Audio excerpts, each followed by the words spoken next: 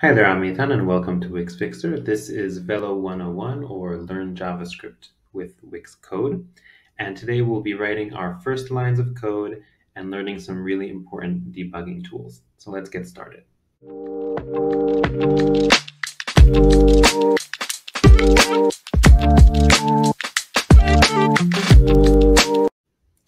Okay, so this is the Wix editor.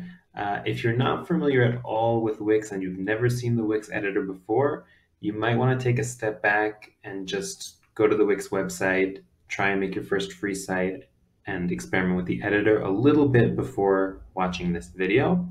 Uh, if you are familiar with the editor, then this screen is familiar to you. And today we are going to be using Wix Code or Velo. And in order to do that, we need to go up here to the upper left side and we have dev mode.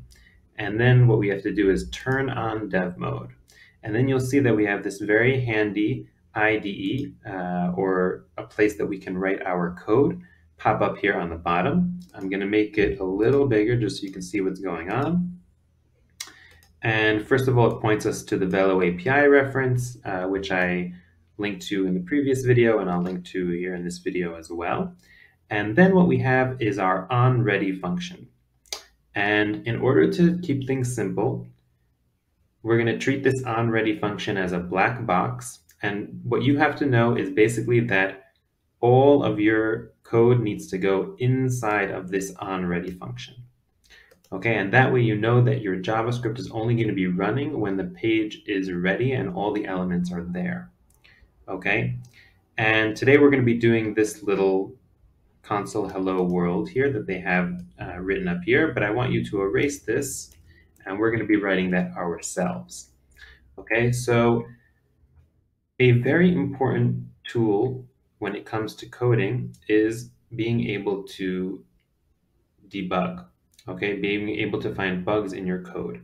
And one of the primary ways that we do that using JavaScript, or one of the most commonly used ways, is using console.log. So to do a log, all you have to do is write console dot log and then open parentheses. And then we can put whatever we want to log inside of these parentheses. And today what I want to log is hello world.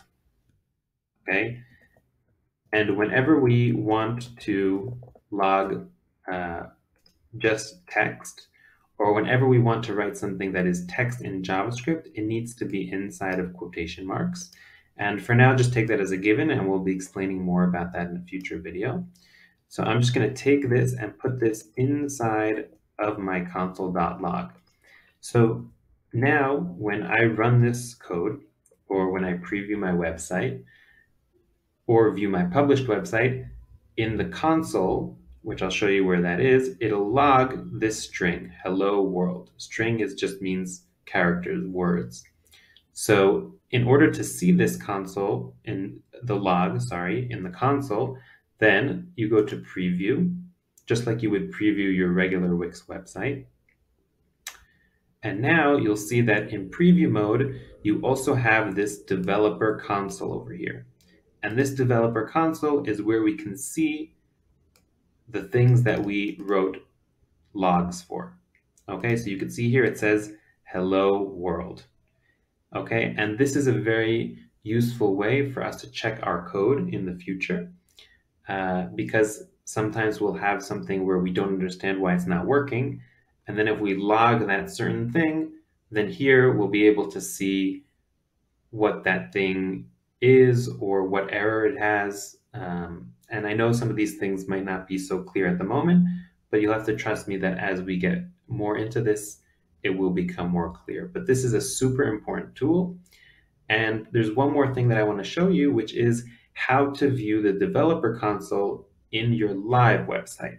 So if I go ahead and I publish this, okay, so now this console will also be part of my live website uh, sorry, this log in the console, then I can go to my live site and you have to go to that specific page that you were writing the code for.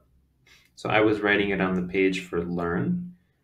And then you can right click in Chrome and click Inspect. Then on the right hand side, your console will open.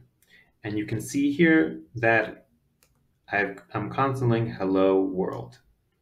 Okay, so that is how you write a console log using Velo uh, and how you view it both in preview mode and on your live site. And it's important to know how to do both because there will be some things that don't work in preview mode. Uh, just that's how Wix is. Some things don't work in preview mode, and you'll also need to know how to log them on your live site. Okay, so to recap, we learned how to get into dev mode. Uh, we learned about where we're supposed to write our JavaScript.